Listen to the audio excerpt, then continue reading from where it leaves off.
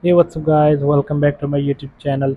So guys in this video i'm going to show you how to fix camera focus issue on iphone 14 14 pro and iphone 14 pro max. So guys let's get started this video without wasting any time. So guys first of all clean the camera lens. Make sure the camera lens is clean and free from any smudge or debris that may affect the focus.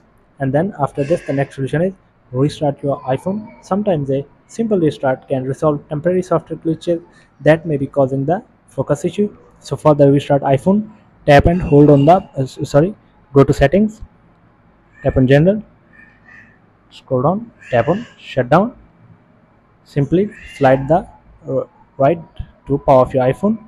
So after restarting your iphone open the after restarting your iphone open the lock screen and then after this the next solution is update your software ensure that your iphone's operating system is up to date. Apple frequently releases software updates that address bugs and improve performance. So for the update go to settings tap on general tap on software update wait for checking for update. So guys if you have available any update on your iphone so update your iphone to the latest ios version. So wait for it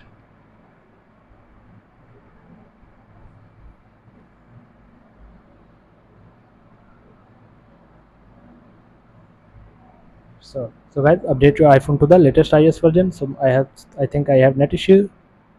Go back. And then after this the next solution is reset all settings. If the issue persists you can try resetting all settings on your iphone.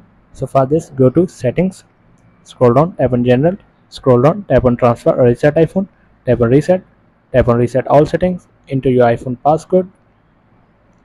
So guys this will reset all settings no data or media will be deleted from your iphone. So simply tap on reset all settings.